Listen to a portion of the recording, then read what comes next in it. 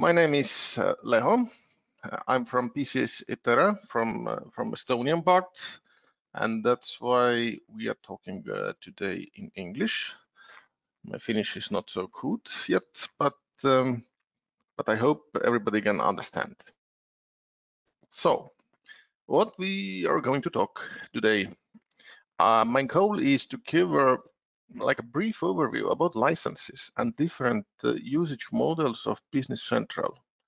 I know the licensing uh, question is always quite complicated if uh, if you have never like uh, uh, never heard about it uh, before, so it it gets quite complicated. And if even if you listen to this webinar, I believe after right after this webinar, you're gonna have quite a many additional questions but um, at least I try to give it the first uh, first input.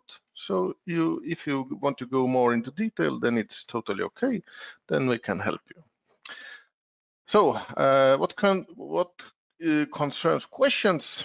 If you have any questions, I believe on the right side of um, your display, you should have like a small console and there is a, a window for questions. If you have any questions, just right right here and I try to answer them on the run. Please uh, ask in English again if possible. If not, just write in Finnish here and I will answer later after the webinar. So let's start with the with the topics about licenses. So uh, if you have like an interest in in Business Central and you are thinking about going for the Business Central, and uh, then one uh, question, uh, if, if you calculate your investments, are the licenses. So I, I uh, give you a short overview what you have to consider when uh, when buying uh, or renting or however you're gonna do it, do that these business central licenses. There are like a three topics concerning licenses.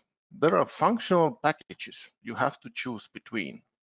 Uh, I'm gonna stop on functional packages right after a couple of slides. Additionally, there are also different types of users you have to choose between. And, uh, and uh, for the third point, there are possible additional functionality modules or functionalities or little solutions or however they call it. So let's start with the first one. There are two functional packages. If you're going for Business Central, you have to choose between two functional packages. It's quite easy, actually. I'm going to show you. There are packages called Essentials and Premium. I have never translated them in no, not into the Estonian, not Finnish, and we are always using English uh, words. So essentials, what essentials means? Uh, essentials mean that there is uh, separately financial management module. And uh, we can call it also bookkeeping, but Microsoft calls it financial management. And uh, financial management uh, has um, quite many sub, uh, sub modules. Of course, there is a general ledger, what is the base for everything if we're talking about bookkeeping, but there are also different, uh, more additional additional modules. For example, quite a, quite a often uh, customers ask, uh, do you have budgets or financial budgets? Yes, in Business Central under the financial module, there are budgets, financial budgets. You can create your budgets, you can export them to Excel, fill them in the Excel, and then import back to the uh, Business Central. You can compare the budgets with the actual numbers and so on. So there are budgets. Uh, for example, also there is a consolidation. So if you have many companies or you are international uh, company, then you definitely need consolidation. And uh, financial management also in Business Central means that you have consolidation. We have done uh, quite a many consolidation projects, and uh, I would say that uh, Business Central consolidation covers most most requirements, even even very complicated ones. We have uh, like a big customers who have uh, very complicated consolidation models all over the different countries, and uh, till now, Business Central uh, have handled them all. So, and uh, one one thing uh, quite often customers ask okay you have financial module you have bookkeeping and everything but what about fixed assets some way uh, bookkeepers they think uh, or they consider that fixed assets is something out of financial but yes we have we have quite a quite a good financial uh, mm, fixed assets module what is also under financial management so financial management is the base of, of the business central and um, Mm, if I look uh, at our customers, then I can say 99.5% of our customers, they all use uh, financial module and bookkeeping module. Only some of very specific solutions we have, they don't use financial module. So what else uh, in Business Central? Essential module. Uh, there is a customer relationship management, the magic word CRM. Uh, very often customers ask, do you have CRM? And then I always ask back, what do you mean by CRM? But uh, CRM in Business Central actually, uh, I would divide it like uh, into two parts. One part is like um, hmm, keeping information about your customers or, or, about your potential customers. You can make segments uh, of customers, for example, divide some customers into, I don't know, big customers, small customers, uh, good customers, bad customers, and so on. And according to this differentiation, you can make your marketing. You can send out emails, you can send out marketing messages, and so on. But the true meaning of CRM usually is management of uh, of sales projects or potential sales projects or sales sales project for your uh, existing customers also. This functionality also is included in this CRM uh, module. So finance, CRM, what else? Project management.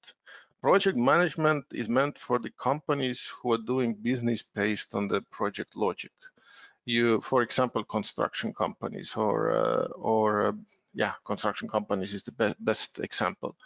Uh, you make you make uh, budget for that uh, for your project and after that you have have to keep track of your budget you have to compare incomes versus outcomes. You have to compare is is your uh, project task line is on the time or is it time is deadline is passed and this kind of details. This for uh, for that we use project management and uh, and uh, most of companies like i said most of companies using financial module most of companies using also uh, sub module from supply chain management. Supply chain management actually consists many functionality and business areas. The easiest way to differentiate it is uh, like it's sales it's purchase it's inventory. Sales and purchase i believe it's quite clear inventory can be in Business Central, it can be solved in more complex way and in more easier way. Um, and uh, usually we call it in Business Central, there are inventory and there is a warehouse management system. Inventory is actually, it's a simple inventory calculation. Uh, you, if you purchase something, uh, the products appear in your uh, in your warehouse, you sell them, they like disappear from warehouse. But there is more complicated uh, way to manage your warehouse. It's called warehouse management system. And it means that you have like a large uh, large warehouse in means of like square meters. You have many, many uh, products, thousands or tens of thousands, and you have to keep track of them. So you have different zones inside your warehouse. Uh, you have shelf uh, system, you have other system, and everything like that. It's more meant to bigger wholesale companies or logistic companies, or even bigger production companies who are using warehouse management system.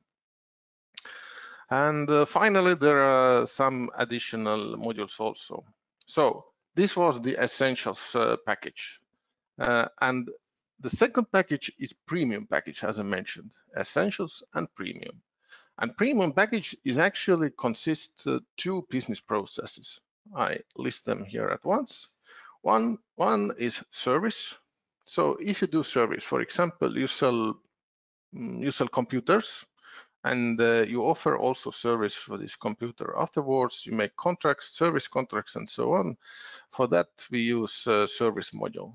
And manufacturing or production however you call it it's included in premium uh, package. To make it more complex i i will go back to the inventory part or supply chain management. And here you can see um, one submodule, it's called assembly management, what is included in essentials package. Assembly is actually, we call it like, it's like a light production. Uh, in easiest way to explain it, it's um, if you take, for example, three products and you produ produce from these three products one product. You can add labor cost there, but uh, finally one uh, new product comes out it's actually assembly management and it can it can be done with this essential package. But if you expect a more um, detailed and complicated and advanced uh, approach to manufacturing then you definitely need premium package and uh, all these modules what are included here. For example capacity management and uh, production planning and and work centers and machine centers and things, uh, routings and uh, things like that. Then you need manufacturing. So all in all, comparison of two uh, two functional packages. As I mentioned, uh, for me it seems quite easy to choose between essentials uh, includes finance, purchase, sales, and so on, and premium adds uh, for these finance, purchase, sales adds production and service. So you only need premium package when you are a production company or service company. All other types of companies uh, can be sold with essential package. So that was the first thing, the functional package. Next thing, users. So again, uh, uh, it's not so easy maybe, but I can uh, explain uh, as, as simple as possible. You have full users. Full users are users who can do everything in this system, in this business center. Of course, user rights apply. So if you are sales sales guy, you are doing uh, uh, invoices on daily basis, uh, but uh, you can't access to financial data. You can't uh, access to balance sheet, for example. But you are full user, you can do most of uh, other tasks. Then there are limited users or team members um, uh, and they are a little bit different depending which kind of license model you have. Is it like a subscription or a cloud model? But uh, the main idea is that these users are uh, many times cheaper than full user and they only do very specific tasks in Business Central. For example, they can access to all data they can read all data. Of course, again, user rights apply, but uh, they can enter very limited uh, data in specific uh, places in Business Center. For example, they can create new uh, new sales uh, offers or sales quotes, but they can't post documents into the general ledger. This this kind of users. Uh, and the third one is uh, the new newest um, newest user type is device user. If we talk about full user, unlimited or team member, then we are talking about named users. Named user means that if you, for example, you have five persons in your company who has to access Business Central, then they all have to have either, either full user or either limited user or team member. But device user is meant it's like a connected with one uh, physical device. And as you can see, these scenarios uh, are brought out. Is it point of sale? For example, you are selling you are uh, selling uh, goods for retail uh, from uh, Business Central. Then, for example, in the morning time there is uh, working one person and in the evening time the second person then you don't have like have two separate licenses then you uh, can have only one device user and this device user is connected with the guy who is working in the morning and the guy or the girl who is working uh, in the afternoon Or there are different more scenarios. Shop floor, for example, in the production, you have to report what you have done, how many how many pieces you have produced or how long it took uh, this uh, production part. This can be used also device user. You have one computer in production hall and everybody comes there and reports. Or warehouse device uh, also can use device user. So you have you have users and you have functional packages. And this is what uh, what Microsoft offers for you. This is like a standard part. So I have one question here. The question is, can we mix uh, premium and essential packages? I believe you meant that uh, uh, if you meant that if we, for example, our production company, many customers have asked this before me also, uh, if we have like a production company, can like a five persons by buy premium package and uh, 10 persons can buy essential package? The answer is unfortunately no. If you are a production company, then all your users must be premium users. If you don't need production, then all your users are essential users. You can't mix these packages. Okay, so let's move on. These are uh, what Microsoft offers, two packages, functional packages, and two users. Now we are going to for uh, additional modules. Uh, additional modules are actually what is not done by Microsoft. It's done by uh, usually by your your your own partner or, or, other partners. I will switch to I will switch to I will check where I have this. Aha, I have here. I will switch to uh, Internet Explorer or Chrome, and here is you can see appsource.microsoft.com. And actually, this is the place uh, where Microsoft keeps his, uh, his new apps. I, I, will explain a little bit what this app means. If you have used Navision or Dynamics Nav before, then I believe you you are familiar with the term uh, development.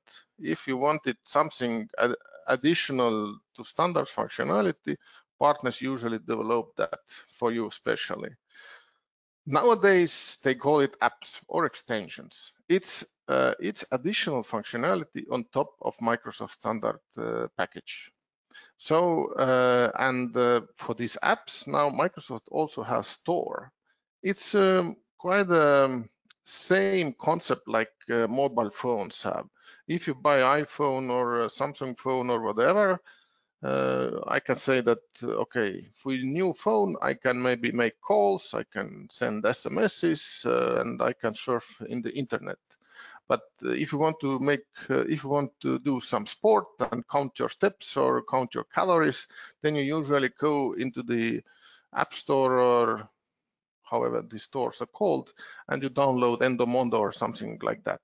So the very similar concept is now also in Business Central. If you want something additional, you go to App Store, you choose apps and search for apps. For example, let's take Finvoice, what all Finnish companies use, because standard Business Central doesn't have, and voila, and you can uh, you can see that there is a ready product already module for this fin, fin voice already existing uh, in Microsoft App Store.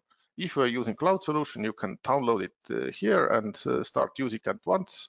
Otherwise, you have to connect contact with your with your partner and uh, and he's taking care how you can use this Finvoice.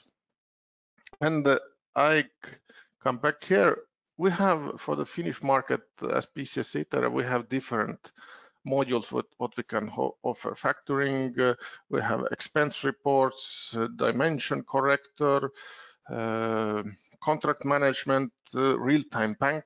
Real-time bank is not released yet but it will be uh, and uh, you can find them all in this app source. So if you want additional modules, you can just go to the app source and download them uh, or ask your partner to find the specific module for you.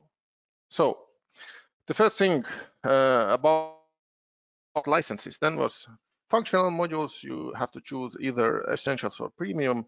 Then users, you have to count uh, what kind of users you need, how many you need them, and what kind of types you need them, and then also consider if you need some extra functionality.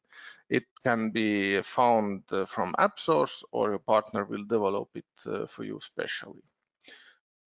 And now I made one uh, quite easy example. Let's say that we have wholesale company who uses this ordinary processes, finance, purchase, sales, inventory, and e-invoices. There will be approximately 10 users plus, uh, plus manager who approves uh, invoices. And what kind of uh, licenses you have to buy?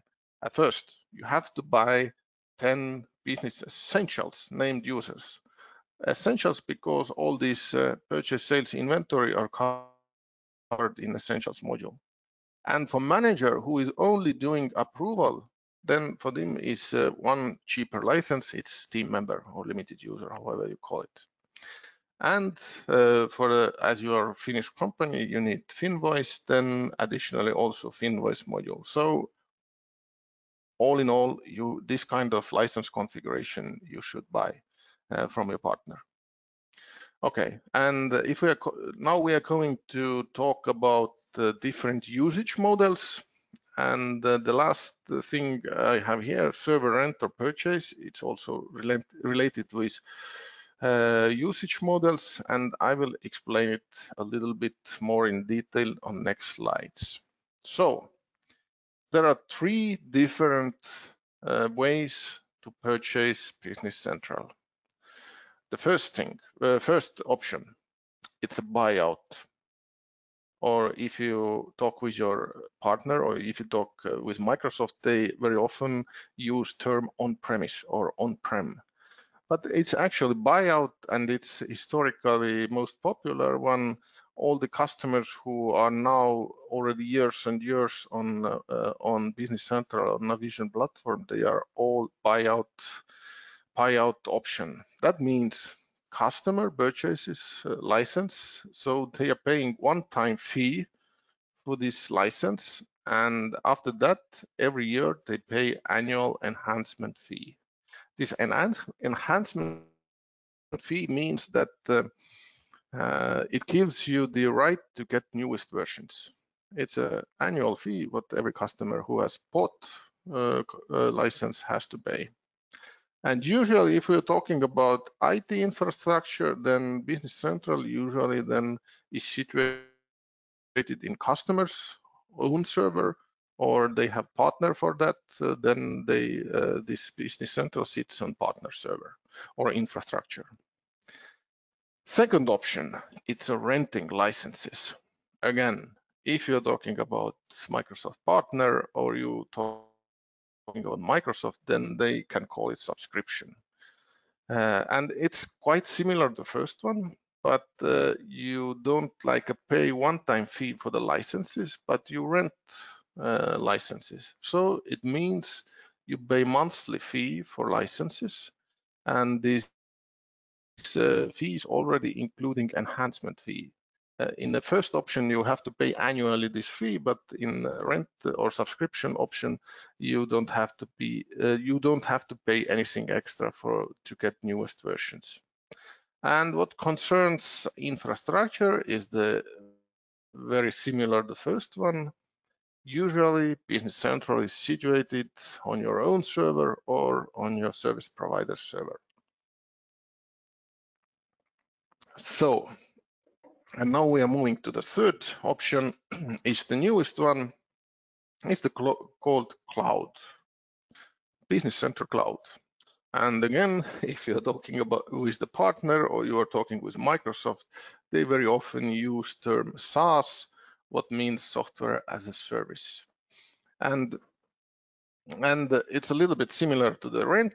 You pay monthly fees for the license, but uh, all everything what is related with infrastructure, everything with related hardware, software, it's managed by Microsoft. You don't have to know anything about it. That's the beauty of the cloud. You don't have to know anything what is in the background of the solution to run it, uh, to make make able to run it. So, so uh, there are three options: buyout, rent, and cloud. Now I'm going to make a little comparison. Uh, what are the differences of these models? The first one, as I always already mentioned, the server. With the on-premise and subscription or buyout and rent, uh, usually the server is your in your own office or your uh, partner's uh, place. And, uh, and uh, in the case of cloud, the server is somewhere, somewhere in the cloud. Uh, for the Finnish and Estonian uh, cloud, uh, cloud, I believe it's situated actually in Netherlands or in Ireland, somewhere there. But in in the cloud, and you don't have to worry actually where it is. Is it in, in Ireland or or uh, or in Netherlands? The fee for the server. Uh, with the two first options, you have to consider that it's extra investment uh, with the on-premise, you usually also pay one-time fee for the server, uh, hardware and software. In subscription or rental, there can be different models. I put there a little asterisks, as you see here. Um, as you see here, and that means that sometimes partners offer like a ready package. Uh, you pay some some sum money, and uh, this already includes licensing and also server. But in theory, uh, in rental model, you have to consider also with separate fee for the server. In the cloud, there is no uh, separate fee for the server. It's included in license price, in monthly fee. A little bit technical nuance. For the um, uh, to run Business Central, you need database server license, and it's Microsoft SQL license. With the on-premise and subscription, this uh, SQL license is not included in uh, Business Central license fee. And like with the uh, server, you have to consider as it additional investment, additional cost. With the cloud, you don't, as I mentioned, you don't have to know anything what is technical background, it's included a monthly fee and it works. Next thing, automatic updates. CU means cumulative update. Uh, it's um, fixing errors for updates for fixing errors and new versions would come out uh, two times per year in the springtime and in the autumn. With the two first options, usually it is separate work and partner will do it as separate work and it will be invoiced separately. That means you as the customer, you have to consider with additional, additional cost for that. In the cloud, it's included in monthly fee. Again, I have small asterisks here behind and the small asterisk means that if your solution, what is situated in the cloud, has many, many, many additional modules, that means customer specific modules, uh, there can be need for some testing from partner side to test if your own modules are uh, are uh, are working in the new version. But it's not uh, it's not so so much work. Um, then a little nuance. Again what some customers don't know and they don't use it. It's possibility to change number of users. Of course all customers can't do that but uh, some customers for example in the summertime when they have uh, vacation periods maybe uh, these people who are on vacation they don't need licenses and they don't access to business center at all. So in rental subscription and cloud model they can change the number of users on monthly basis. So if, if the July is vacation period, at the end of June, you say to your partner, please, please exclude five users from my configuration and you pay less for five users. Or with the on-premise or buyout license, it's not possible. At the beginning, you bought 10 licenses and 10 licenses you have all the time. Uh, enhancement fee. As I mentioned, enhancement fee is the fee uh, what customers pay to get new newest versions. And uh, with the on-premise uh, or buyout, it's 16% from license value per year. So if you paid, for example, 10,000 euros for licenses, you bought your license, 10,000 euros, then every year you pay 1,600 euros to have the right to go to the newest version. And little remark, this uh, 1,600 euros doesn't include doesn't include uh, the works for a version upgrade. It will be done separately, as I mentioned already here. Partner will do a separate work. And uh, already I mentioned on previous slide, payment for licenses. If you buy out, it's a one-time investment plus annual enhancement fee payments. But in rental and cloud option, then it's monthly payments. So I have a couple of more technical, more technical nuances. I will bring them here also. It's data database size limit. If you have the solution on your own server or partner server, then in theory, there is no limit for the database size.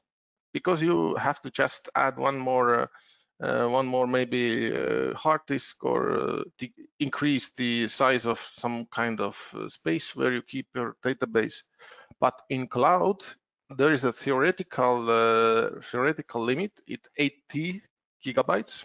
Again here is a small asterisk. And this asterisk means that actually it's theoretical um, limitation. If you database will grow to 90 gigabytes, it's actually possible. You just have to pay for extra 10 gigabytes to the Microsoft. So that's that's the that's the details with that limitation. And access to a SQL database, it's very technical, but I will go through it quickly. You you have direct access to the SQL database with on-premise and subscription uh, usage model, but in the cloud you have separate tools to access the SQL database. And if you talk in like a human language, that means if you if you are a bigger company, and usually bigger companies, at least in Estonia, they're using data warehouse for the analysis uh, purposes. And the data warehouse needs direct access to SQL. So in the cloud, at the moment, there is no possibility to create data, data warehouses. Uh, I believe in the future releases it will be available, but at the moment, no. So that was the comparison of three models. How, what are the differences between on-premise, buyout, rental subscription, or cloud version? And uh, what usually they say, which option to choose, then, uh, then uh, I believe there are pluses or minuses for both options, either to go on-premise or the cloud with the on-premise, there are like uh, more uh, more hidden costs. You have to take care of uh, power, cooling, security, and so on. In in case of cloud, these all are already included in in the cloud monthly fee. It's situated some in some data server uh, center somewhere in Ireland or whatever uh, and you don't have to worry about it. So it's it's a mindset question, I believe, which one to choose. And the for the final, um, I would like to share one Excel table. I just made here um, mm, one easy example. I took uh, random numbers for for for investment. For example, I have some 10 or 20 users. Uh, when I go for the on-premise or buyout, I will do first year, I will do uh, the initial uh, payment, but with the subscription cloud, I will pay on monthly basis. And as you can see, I will scroll it a little bit. I will do it a little bit bigger. As you as you can see here, okay, here, the blue line is on-premise. Uh, the subscription uh, is the gray one, and the yellow one is cloud. And if you look at these uh, calculations, it seems like from the third year, cloud is going to be uh, much more expensive. But one disclaimer, these costs are only license costs. Here, here are no, not included hardware, or software. It's not included uh, maintenance. You have to maintenance your uh, your servers. It's not included version upgrades. And as I showed you this uh, iceberg picture, actually all these hidden costs, they are not included in these prices. So if you take like, a, if you want to buy out the license, you need server. Let's let's increase the uh, first initial investment with some thousands. You see that uh, this uh, line moves and it's uh, this uh, buyout already gets more more uh, more expensive. And if I add these all these costs here, I, I believe the break-even point will be for fifth or sixth year somewhere. You have to make version upgrades. You add this cost also somewhere. Let's add let's add here. You have to do this calculation for all these all these details and only after that you can calculate the total cost of ownership for your solution and decide is it go for the cloud or to go to on-premise or to go to rental or subscription. Uh, I just encourage you to look all your costs and uh, make uh, compare all these models and only after that make the decision either to go for the cloud or to go to, for a rental or to go, go for the on-premise or buyout. So uh, that's more or less, that's all. Thank you for watching. If you have any questions, our our our Finnish uh, office manager Marika is more than happy to take your calls or your emails. And but if you have any direct questions to me, feel free to uh, send me an email. Thank you for watching. Thank you for listening. See you next time. Bye bye.